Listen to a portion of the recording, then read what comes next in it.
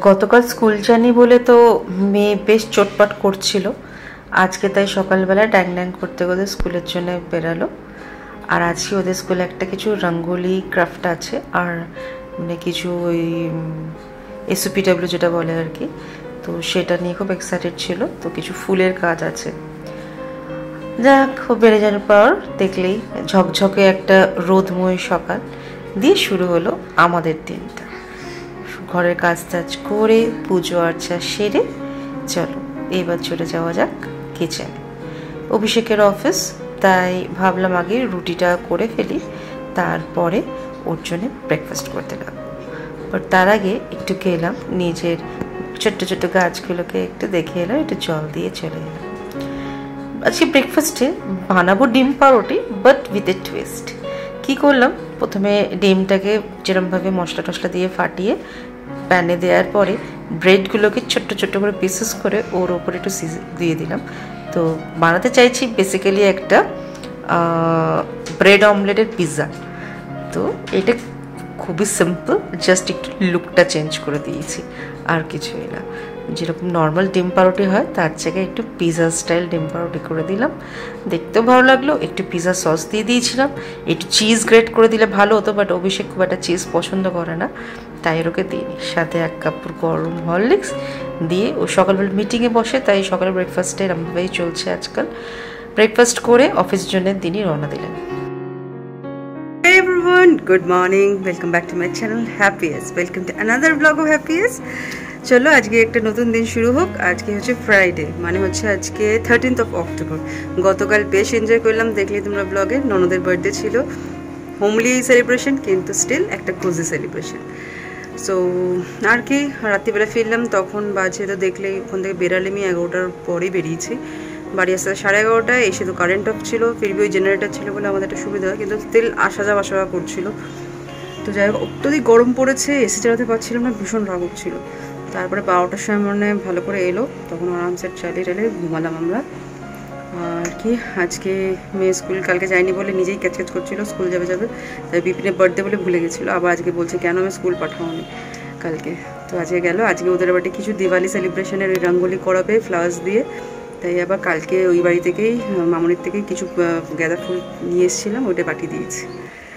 আর কি, চলো আজ রান্নাবান্না সেরকম ভাবছি। রাত্রিবেলা চিকেন করব। মেয়ে চিকেন চিকেন করছিল। সে লাস্ট সানডে খেয়েছে চিকেন তারপরে খাওয়া হয়নি বলে আজ চিকেন করব। রাত্রিবেলা চিকেন আর জিরা রাইস আর এখন মাছ ভাজা আর ডালে ছেলে করে নেব আমি। আমি কেন? সিজ অভিষেক খাবে রাত্রিবেলা চিকেন আর রাইস জিরা রাইস তো অন্য কিছু আর করব না। কালকে মহালয়া, কালকে ভেজ খাব। তো ভেজের একটু রান্নাবান্না করার ইচ্ছা আছে। তো লেটসি কী হয়।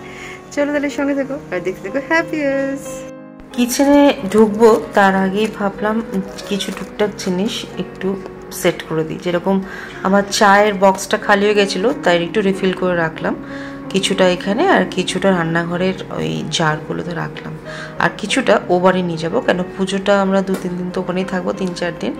তো ওখানে আমার, আমি ওখানেও টি ব্যাগসই খেতাম, তাই ওখানে রিফিল করব। এইসব করে কিচেনে গিয়ে এই মাছটা ভাজলাম আর ভাতে ভাতেই খাব। তারপরে আর কিছু ব্লগ করা হয়নি। মেয়েকে আনতে গেছিলাম যখন একটা ইনসিডেন্ট হলো, তারপর কিছু ব্লগ করিনি। Good evening everyone welcome back to my channel হ্যাপিয়াস এখন বাজতে চলল, ও এখন ছটা চল্লিশ বাজে, আর আমার সন্ধে দেওয়া তো অনেকক্ষণ হয়েছে, দেখো ধূপও নিভে গেছে। বসেছিলাম একটু, বাইরে একটু বসেছিলাম। সো এই কারণে একটু লেট হলো। যাই হোক, এখন সন্ধে ওঠাবো মানে ঠাকুরকে শুইয়ে এবার রান্নায় লাগতে হবে। সিন্স দুপুরে একটু রান্নাবান্না করে নিই। রাত্রেবেলায় চিকেন করব আর জিরা রাইস করব।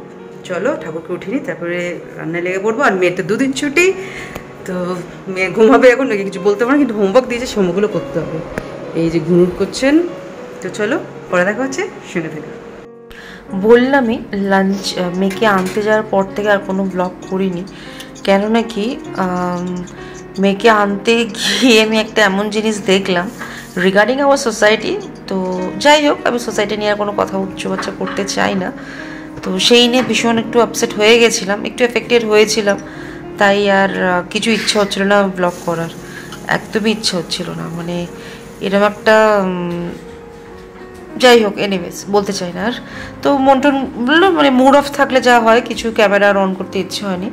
তো দুপুরে ঘুমালাম মানে শুলাম টুলাম, ঘুমাই আননি দিয়ে তারপরে মাইন্ডটাকে একটু সেট করলাম করে চলে লেগে পড়লাম সন্ধ্যাবেলার কাজকর্মতে। তো আজকে বলেছিলাম চিকেন বানাবো আর চিকেনটা একটু অন্য স্টাইলে বানালাম।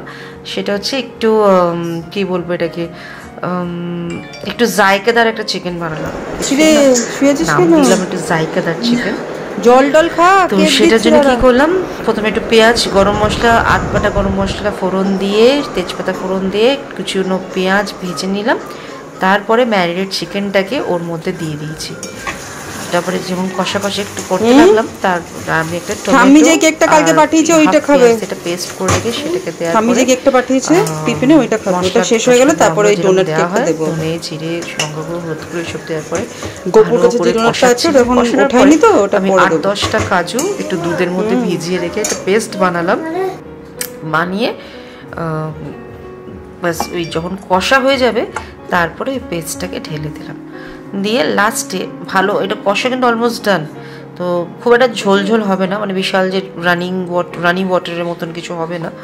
তো নর্মাল একটা মাখা মাখা, যেটা তুমি রাইস দিয়েও কিছু খেতে পারো, বা পরাঠা, রুটি এসব দিয়েও তো এরকম দেখতে হবে। আর লাস্টে আমি একটু কাসুরি মেথি ছড়িয়ে দিয়েছিলাম। তো ভীষণ টেস্টি একটা ইয়ামিয়েস্ট চিকেন তৈরি হয়ে গেছিল। বেস্ট ফর যে কোনো রাইসের কোনো প্রিপারেশন থাকলে বা পরোটা রুটি এইসব আর কি। এটা? প্রিপারেশন দিয়ে ভীষণ এক্লেয়ার্স হ্যাঁ। চা হাত পাতো আচ্ছা পাতলাম। সেমই দুটোই সেম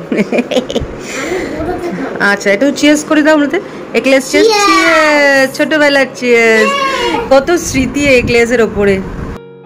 এই এক্লেজের কত স্মৃতি বলো আমাদের সবার সাথে, যারা এইটিজ আর নাইনটিজে বর্ন বা সেভেন্টিজ এক্লেস কবে থেকে? মানে আগে চকলেট ক্যাডবেরি মানে এক্লেস আর কিসমি এইগুলো ছিল, তাই না?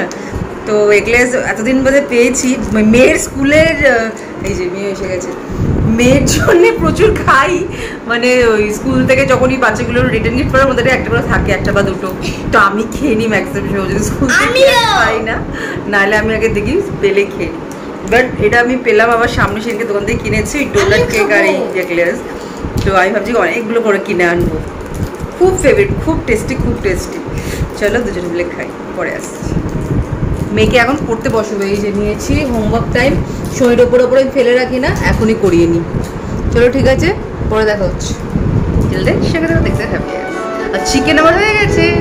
শুধু রাইসটা বসাবো পরে বসবো নটা নাগাদ রাইসটা বসাবো চলো বাই দেখো পাগলি কি করছে? আমি কথা বলছিলাম বন্ধুর সাথে। সরি হয়ে মুখে একলেস আছে ওই জন্যে। আর দেখো আমার জামা কাপড় পরে কি করছে? কি করছিস বাবু? দেখি এদিকে তাকা মা। পাগলি চন্দ্র যাক, আমরাও এরকম করতাম, ছোটবেলায় মায়ের ওন্না মায়ের শাড়ি এসব নিয়ে। বাচ্চাদের এটাই টেন্ডেন্সি থাকে। চলো, পরে দেখো, পরে আবার আসব। আর হোমওয়ার্ক করতে বসবাবু বলেছি, দেখো, তার আগে উনি শুরু করে দিয়েছেন গান নাচ।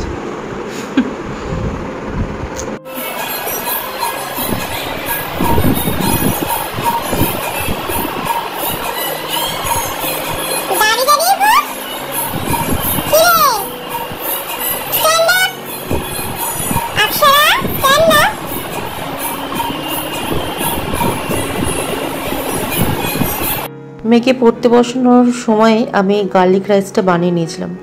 আর নর্মাল যেরকম বানাই সেটা আর ওই জন্য রেসিপি শেয়ার করিনি। একটু বাটার একটু তেলের মধ্যে গার্লিকটাকে ভেজে, তার মধ্যে চালটাকে জল ভেজানো, ঝরিয়ে রাখা চালটাকে ভালো করে ভেজে নিলাম। নুন দিয়ে ভেজে টেজে জল দিয়ে দিলাম পরিমাণ মতন, তারপরে চিনি দিয়ে বসিয়ে দিয়েছিলাম।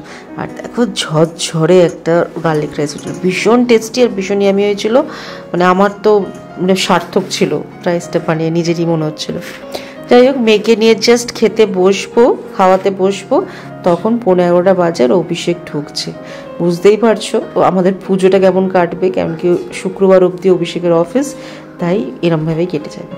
যাই হোক, খাওয়া দাওয়া শেষ করে এবার শোয়ার টাইম বাট কালকে দেবে মেয়ের ইউনিফর্মস উইন্টার ইউনিফর্ম তো আগের বছরের উইন্টার ইউনিফর্মটাকে বের করে সাইজটা একটু দেখে নিচ্ছিলাম সো দ্যাট গিনিকে না নিয়ে যেতে হয়, অভিষেক গেলেই হয়ে যাবে। এইসব করতে করতে সব র্যাপ আপ করছিলাম, তো ম্যাচ মনে চলছিল, অভিষেক একটু দেখে ম্যাচ ম্যাচ দেখছিল, আর আমি মেয়েকে ফ্রেশ করে ঘাটে উঠিয়ে দিয়েছিলাম ওর বসে টিভি দেখছিল। অ্যাজ ইউজুয়াল জানোই কিচেন আমার ক্লিন থাকে সো এবার শোয়ার পালো। চলো, আজকে শেষ করি ব্লগটি এরমভাবেই। কালকে মহালয়া, নতুন ব্লগ আর নতুন দিনে তোমাদের সামনে আবার চলে আসব আমি গার্ডকে হ্যাপিয়েস থেকে। টিল দেন সবাই সঙ্গে থেকো, দেখতে থেকো হ্যাপিয়েস টেক কেয়ার টাটা